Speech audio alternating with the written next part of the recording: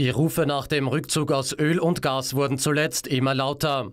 Der russische Angriffskrieg auf die Ukraine führt vor Augen, dass der Umbau des Energiesystems von fossil auf erneuerbar noch rascher passieren muss, als aus Klimagründen ohnehin nötig ist. Denn Europa will schnell unabhängig von russischen Energiequellen werden. Führende Forscherinnen vom Verein Scientists for Future denken, dass der Ausstieg aus Öl und Gas mittelfristig gelingen kann. Laut einer aktuellen Studie der Energieagentur könnte Österreich ab 2027 ohne russisches Gas auskommen. Für die Wiener Umweltökonomin Sigrid Stagel ist der Ausstieg bis dorthin möglich, aber nur mit einer nationalen Kraftanstrengung. Derzeit fahre man nämlich noch mit angezogener Bremse, da es noch viel Widerstand auf politischer Ebene gebe. Mehrere Bundesländer würden sich etwa gegen zusätzliche Flächen für Windkraft stemmen. Die Substitution von Öl auf der anderen Seite ist in Österreich deutlich einfacher als in anderen Ländern.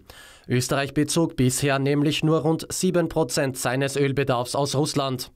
Dieser könnte rasch aus anderen Quellen ersetzt werden, so Stagel. Deutlich komplexer ist die Situation für Gas, bei dem Österreich nach wie vor stark abhängig von Russland ist.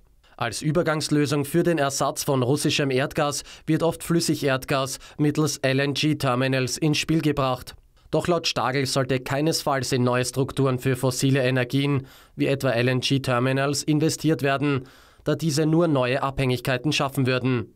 Vielmehr sollte man auf den Ausbau bestehender Anlagen für erneuerbare Energie setzen, mehr Flächen für Windkraft in allen Bundesländern schaffen, vermehrt auf Biogas und elektrische Wärmepumpen zurückgreifen und eine Ausbildungsoffensive für Fachkräfte im Bereich der Erneuerbaren starten. Die beste Maßnahme sei aber nach wie vor, Energie zu sparen. Ganz ähnlich sieht das die Energieökonomin Claudia Kempfert vom Deutschen Institut für Wirtschaftsforschung.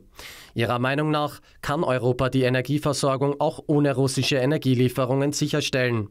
Dafür braucht es jetzt drei Maßnahmen.